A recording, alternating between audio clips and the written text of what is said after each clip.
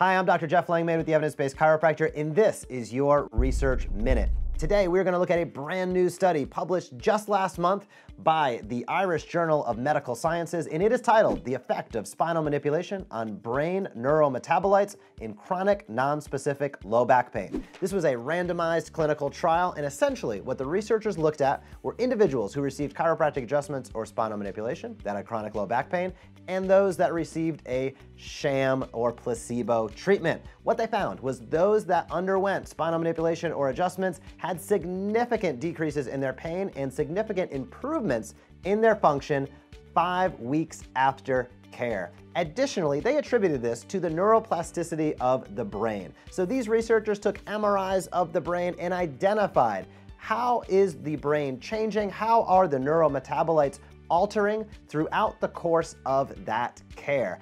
And the research was very clear. Those who received spinal manipulation or adjustments did have alteration or change to those neurometabolites, which tells them that there is central nervous system changes that occur. So when you deliver a chiropractic adjustment, please keep in mind, it is not only about the mechanical aspects of what you do in terms of decompressing the IVF and opening up the facet joints, but there are, and science continues to prove, that there are central nervous system changes that can occur. So this is an exciting new step of research. I'm excited to see where these papers continue to progress in the future, and this has been your weekly Research Minute.